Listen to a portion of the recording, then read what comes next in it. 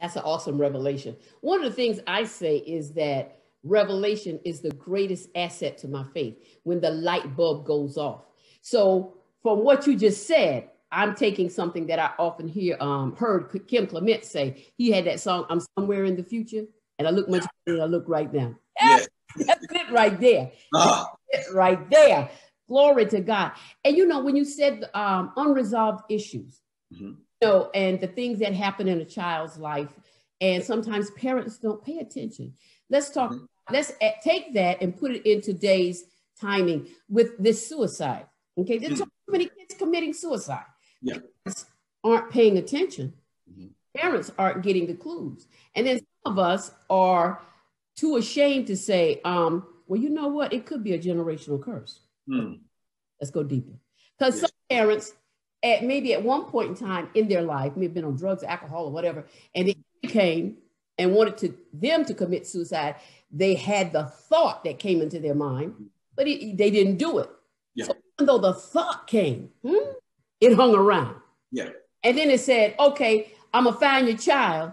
I'm gonna find, okay, if your child going through a moment of depression, or even if your child is in an environment or in a situation, if there's an opening, I'm coming in. That's right. And then that's, that's what happens with the child. And we don't even, and we miss the signs and we miss the clues. Talk to me about that. So let me say this. So my brother actually committed suicide in 2000, in 2007. And when when that took place, I had a lot of questions uh, as to why he would do something like that. So let me speak about that situation first, and then I'll go deeper. Mm-hmm. So my brother, he called me that Wednesday, and he basically told me that there was this girl who was pregnant for him, and he was trying to find a job, and uh, you know all these things were going on. He was like, "Yeah, you know, I, I really want to be a great father to this kid, and all this kind of mm-hmm. stuff." Well, my, my brother committed suicide that Friday. And we found out that the child wasn't even his that the girl had. And so there are situations that happen in people's lives that cause them to want to give up. But this is the thing that I always share with people is this, especially when you're a parent, because I'm a, I'm a parent of six children. And I and I talk to my kids all the time and I and I ask them, when you look at your life, what is it that you see?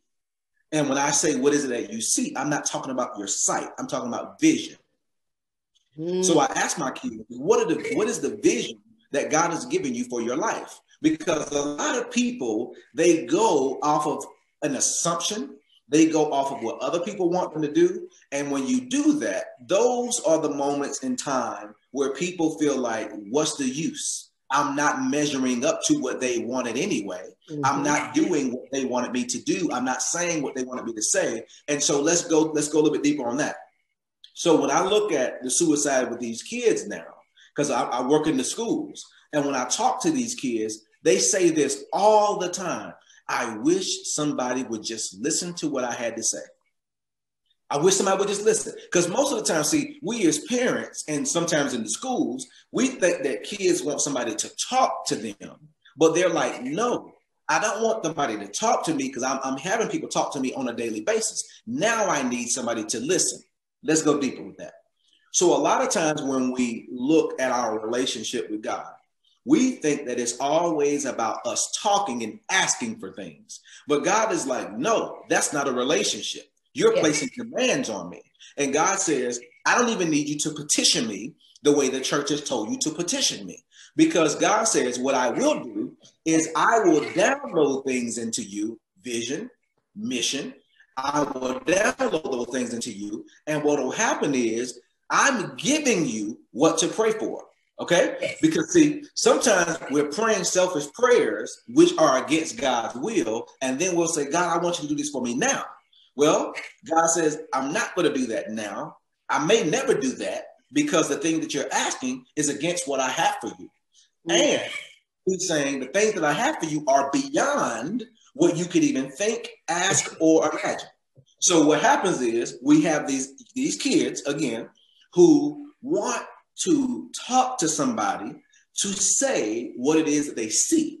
But when they don't have that, Mm-hmm. They feel like everything is kind of bottled up and, and becoming stifled, and therefore it stifles their growth and their think about it, their mental capacity seems to be stifled. And what God is saying is, I want you to learn from me how to handle each other so yes. that we don't have individuals who want to give up on life and want to commit suicide.